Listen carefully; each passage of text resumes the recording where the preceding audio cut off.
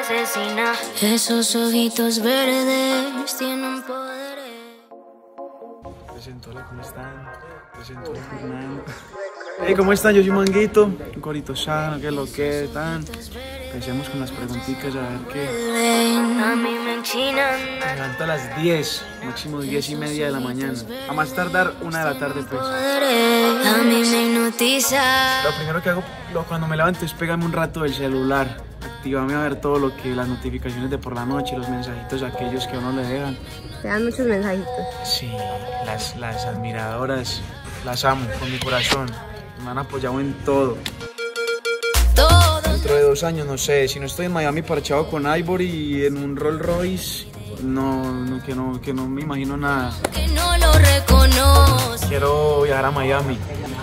No sé por qué, pero quiero ir a Miami.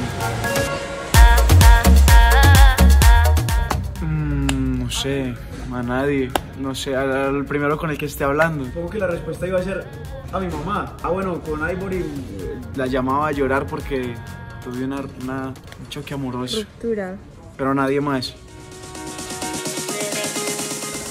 Mm, comedia, paparchame. Los frijoles de mi mamá. Sí, puedo hablar con 10 a la misma vez.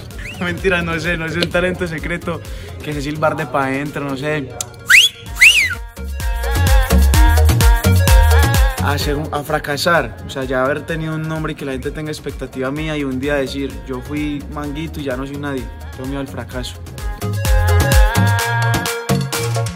El negro.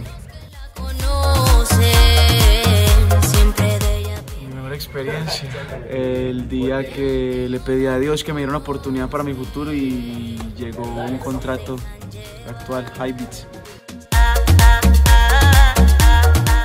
No sé, sus buenas nalgas, sus buenos pechos, su buena sonrisa, sus buenos tenis, su buen cabello. No digo superficial, pero eso también es bueno porque.